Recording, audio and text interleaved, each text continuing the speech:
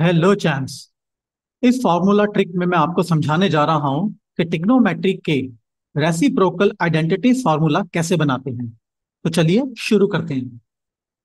चैम्स जैसा कि आप देख रहे हैं, हमारे पास यहाँ पर एक हेक्सागन है और मैंने सेम वैल्यूज़ दोबारा पुट किए हैं, जैसे टेन इस पॉइंट को नाम दिया है साइन इस पॉइंट पर है कॉस यहाँ पर है कॉट यहाँ पर है कॉसिक यहाँ पर है और इस पॉइंट पर सेकेंड तो अब हम सीख रहे हैं कि हमें रेसिप्रोकल वैल्यू कैसे निकालनी है। तो अब रेसिप्रोकल क्या होता है? एक अपोजिट वैल्यू होती है। जैसे आप इस पॉइंट को देखेंगे टेन पर जब हम खड़े हैं तो इसकी अपोजिट वैल्यू क्या है? कॉट है। तो क्या हम टेन को ऐसे लिख सकते हैं? Tan is equal to one upon cot क्योंकि टेन की जो अपोजिट साइड वैल्यू है, वो इसकी रेसिप्रोकल है। ठीक है? तो क्या अब जब कॉट पे खड़े हैं तो टेन भी इसकी रेसिप्रोकल वैल्यू है? ऑफकोर्स है। तो हम कॉट को भी लिख सकते हैं। Cot is equal to one upon tan तो दोनों एक दूसरे की रेसिप्रोकल वैल्यूज़ हैं।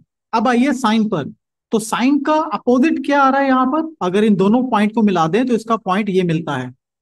कॉसेक तो हम लिख सकते हैं, साइन की जो रेसिप्रोकल वैल्यू है, वो है one upon cosec.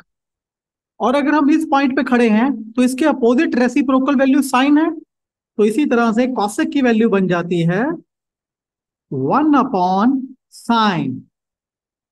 I hope कि आपको यहाँ तक समझ आ गया होगा। अब नेक्स्ट पॉइंट पर चलते हैं। अब हम चलते हैं कॉस पर। तो कॉस की अपोजिट साइड कौन सी है? सेक आती है।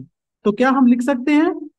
Cos is equal to one upon sec तो कॉस की रेसिप्रोकल वैल्यू बन गई है सेक इसी तरह से अगर हम सेक पॉइंट पर खड़े हैं तो सेक का अपोजिट आ जाता है कॉस तो क्या सेक का जो अपोजिट वैल्यू है, वो वन अपॉन कॉस लिख सकते हैं?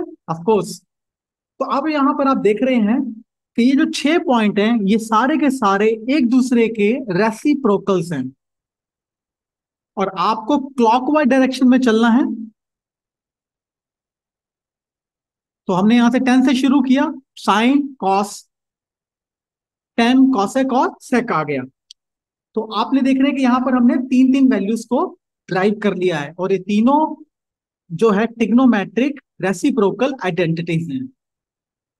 तो चैम्स आइए, अब इन जो रेसिप्रोकल वैल्यूज़ हमने निकाली है, इनसे एक एक फॉर्मूला और बनाई जैसे सबसे पहले हम tan is equal to one upon cot है।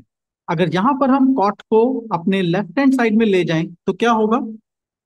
तो यहाँ पर कॉट डिवीज़न में है तो उधर जाकर कॉट मल्टीप्लीकेशन में हो जाएगा। तो tan multiply by cot is equal to one value आएगी। तो चैन से एक और नया फॉर्मूला बन गया हमारे पास। अब यहाँ से अगर हम टेन को इधर ले जाएँ तो भी हमारा tan multiply by cot one ही आएगा। तो ये भी एक वैल्यू होगी। मगर इससे क्या हम कोई और वैल्यूज़ भी निकाल सकते हैं? ऑफकोर्स अगर हम अब टेन को उधर ले जाएँ तो cot is equal to one upon tan आ जाएगा, जैसे कि हमारे पास यहाँ पर आया हुआ है। अब इसी तरह से अब हम कॉसेक को अगले फॉर्म में ले जाएँ, इधर लेफ़्ट हैंड साइड में तो क्या होगा? तो sine multiply by cosec is equal to one आएगा तो एक नया फॉर्मूला बन गया। अब इसी तरह से इस फॉर्मूले में अगर सेक को हम इधर ले जाए तो तो ये आ जाएगा cos multiply by sec is equal to one तो चैम्प्स इन फॉर्मूले से हमने तीन नए फॉर्मूले और बना लिए हैं।